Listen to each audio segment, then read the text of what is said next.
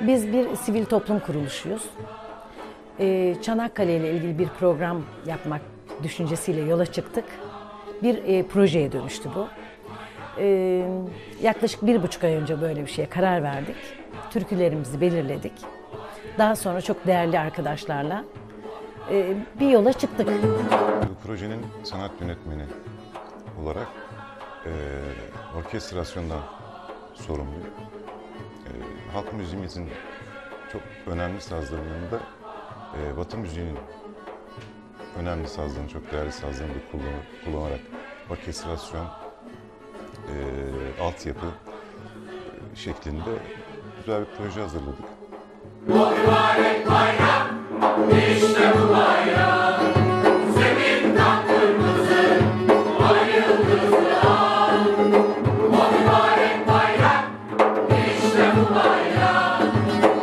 Valla bu proje ilk bana geldiğinde, e, projeye katkıda bulunmam istendiğinde e, hakikaten çok heyecanlandım.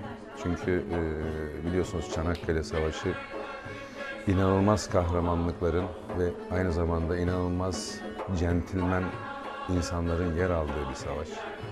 Ve bunun içerisinde e, hele müziklerle yoğrulması, halk müziğimizle yoğrulması ve bu şekilde sergilenmesi, bu şekilde bir projeye dönüştürülmesi ve bunun bir gösteri biçiminde sunulması çok cazip geldi bana.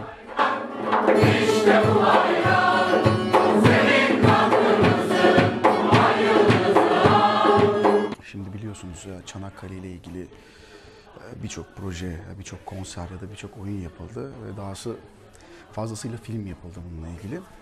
E, Biz başka bir açıdan bakmaya çalıştık her şeyden önce.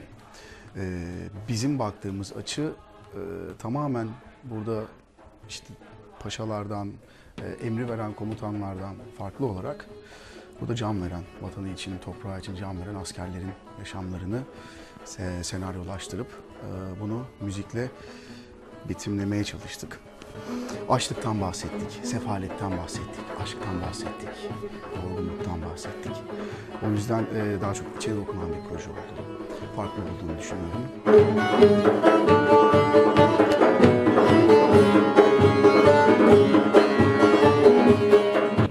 1999 yılında kurulmuş e, bir kurumuz. Bünyemizde halk müziği, sanat müziği, tasavvuf, e, tiyatral çalışmalar, halk oyunları vesaire vesaire bölümlerimiz var.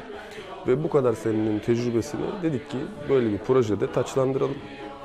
E, ayakları olan, Barko Vizyon'da desteklenen, koral çalışma ve çok değerli oyuncularımızla, profesyonel sanatçılarla beraber harmanladığımız bir proje oldu.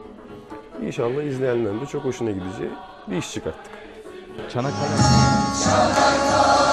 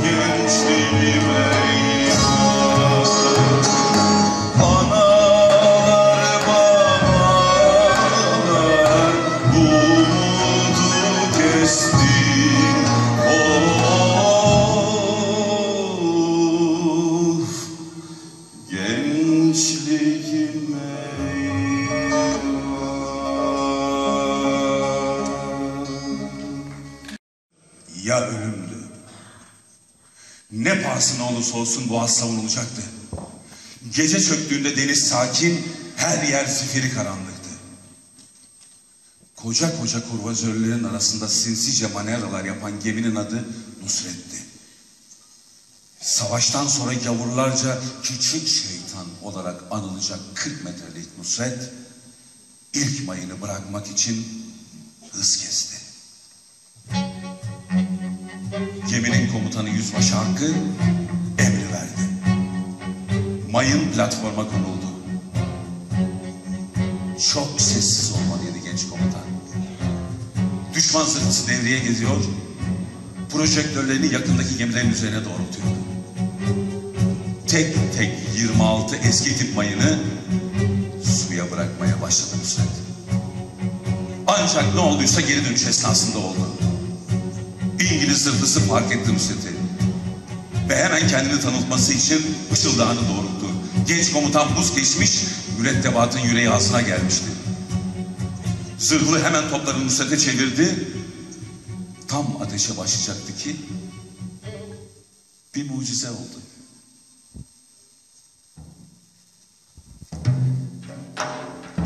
Bizim kıyıdan yanan bir projektör düşmanınkini denizin üstünde yakaladı. İki projektör şimdi göz gözeydiler. Ortalığı yoğun bir beyazlık kapladı. Düşman projektör kurtulmak için müthiş çaba harcıyor ama başaramıyordu. Beklenmedik bu ışık kavgası Nusret'e yaşam umudunu geri verdi. Küçük şeytan görevini başarıyla tamamlamış, Çanakkale yönünde yol almaya başlamıştı.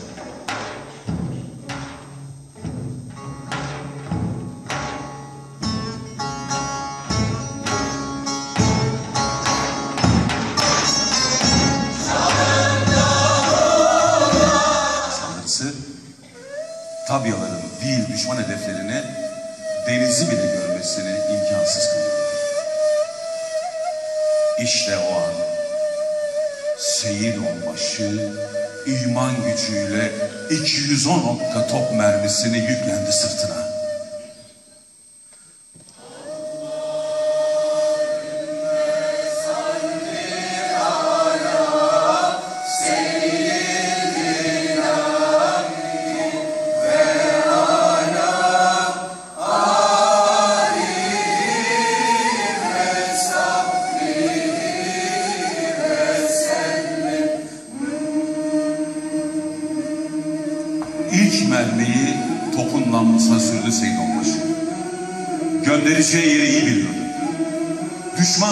Sersemletmişti.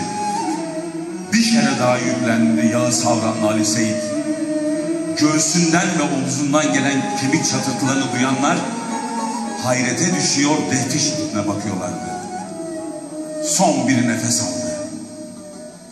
Bu sefer kan fışkırdı burnundan. Sürdü mermiyi topa. Bir güldürdü. Donanmasının Ocean zırhlısı boğazın dibindeydi artık.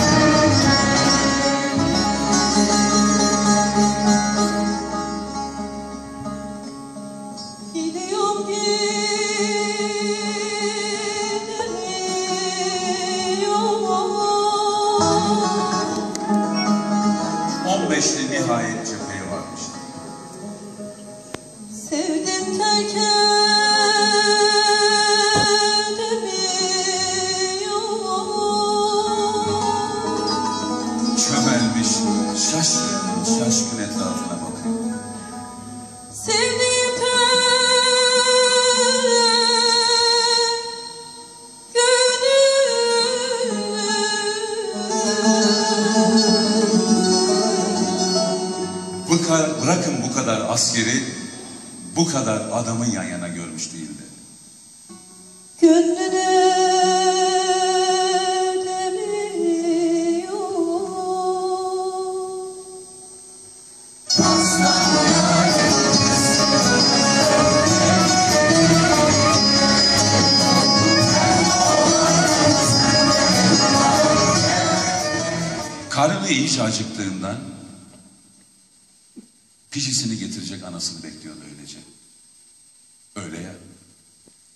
Pişi olmadan savaşa girilir miydi hiç?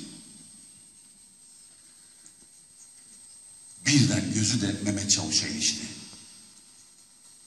Kumanyasını hızlı hızlı kaşıklayan bu adam diğer kumandanlardan da büyüktü. E o zaman bu en büyük kumandandı.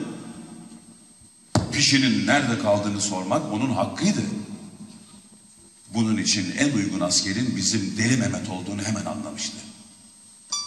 Gözlerini kıstı, bir süre araziyi süzdü ve cesaretle çömeldiği yerden fırladı. Önündeki küçücük sümseyi kocaman zıplayarak açtı. Siperlerin arasından kahraman gibi süzülerek 15 metre ilerideki Mehmet Çavuş'un yanına bir çırpıda vardı. O çakmak çakmak kara gözlerini dikti ve vakit kaybetmeden kumandanım dedi. Benim pişi varıldı gelmedi. E söyleyelim zabite getirsin pişiyi. Ve acıktım ben. Öyle ya. Pişi olmadan savaşa girilir miydi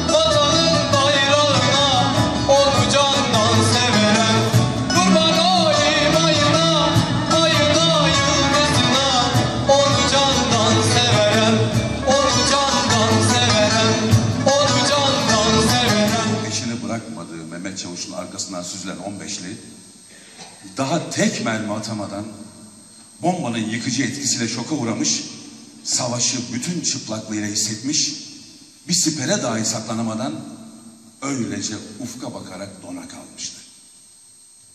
Adeta birbiriyle çarpışan mermiler her nasıl olduysa bütün vücudu açıkta olan 15'linin sağından solundan geçiyor, pantolonunu sıyırlıyor, çoktan boşalmış matarasını delip geçiyordu. 20 cephe görmüş Mehmet Çavuş anlamıştı vaziyeti. Hatırladı olanı. Bizim pişiciydi bu. 15'lerden biri.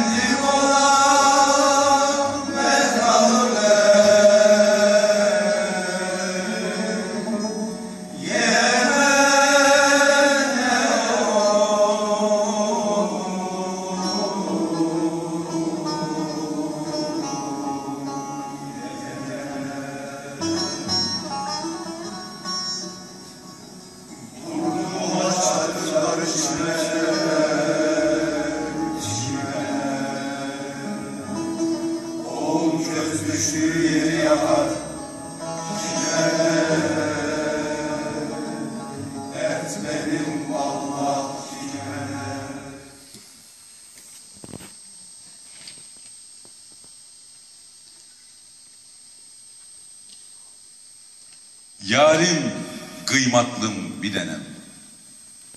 Acep ne iştir diye sual ettim dün ilk defa. Hele bir dine neden. Söz al çek o güzel gönlünü deli Mehmet'in. Dün sabah aniden verilen taarruz emriyle hattın gerisine geldiğimizde kurşun ve şarapnel parçaları mevcudiyetini hissettirmeye başlamıştı. Düşman bulunduğumuz depeyi çok kuvvetli bir topçu ateşine tutturmuştu. O ağırlık takım komutanın gelerek süngü takıp ilerideki avcı hattıyla birleştikten sonra hücum edeceğimizi söyledi. Birinci takımla en önde topçu ateşini aldırmadan her sıçrayışta birçok düşman cesedin üzerinden atlayarak cephemizde iki siper daha ilerledik. Bizim takımın çoğu şehit düştü. Yerlerine gelenler de şehit oldu. O sırada baktım bir oğlan. Ufak da 15 yaşında vay yok. Üniforması üzerinden dökülüyor köpenin. Avcı takımına karışmış peşimden gelivermiş. Benimle nasıl koştu bilinmez emme zerre mecali kalmamış. Bayılıvermiş. Kendine geldiğinde hemşireyi melek sanmış. Hastaneyi cennet. Şehit oldum diye sevinmiş önce. Yok diye cevap alınca da bir ışımla doğrulmuş. E ne diye yatırsınız beni? Mehmet Kuvan'dan görevde bekler diye ver yansın etmiş. Şimdi sen söyle acep ne iştir?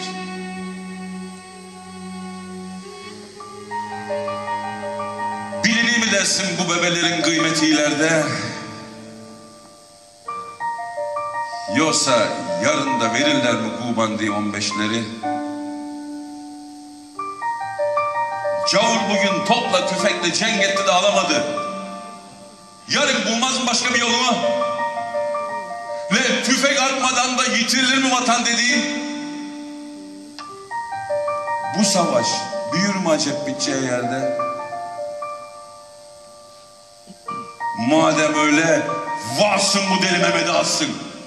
Yarın bana 15'liler lazım.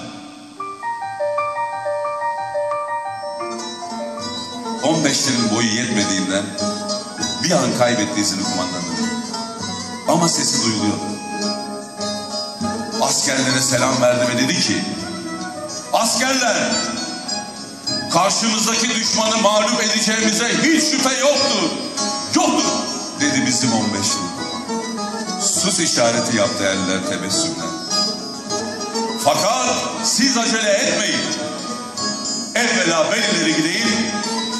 Kırbaçımla işaret ettiğim zaman hep birden atılırsınız.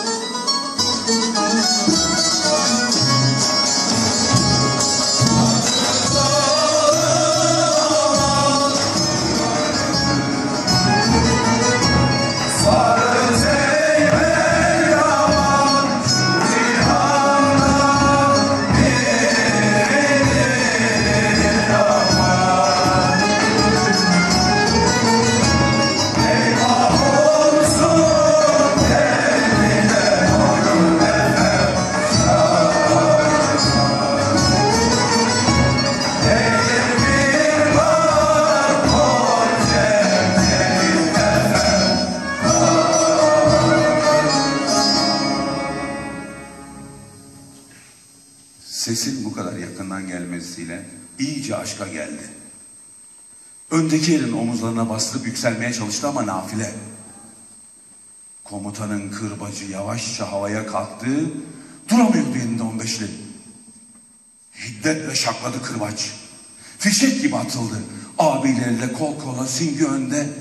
En önde de tabancaları ve kılıçları ellerinde subayları görünce ateş bastı yüreğine. Yanı başında patlayan bombaları aldırmadan, yılmadan, yorulmadan koşuyordu. Atlılar kadar hızlı koştuğunu fark etti. Ne koşması? Uçuyordu adeta.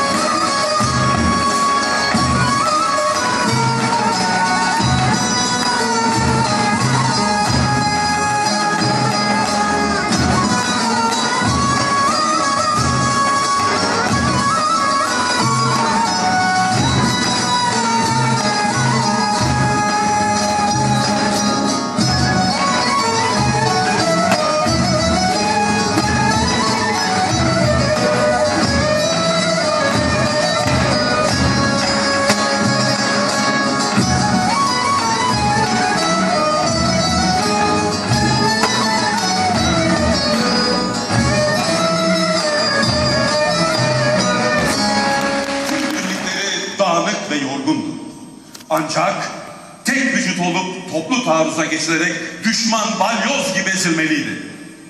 Türk askeri damarlarındaki asil kanı artık hissedebiliyor, komutanıyla bütünleşiyor, ona inanıyordu. Düşman denize ya dökülecek ya dökülecekti. Ben size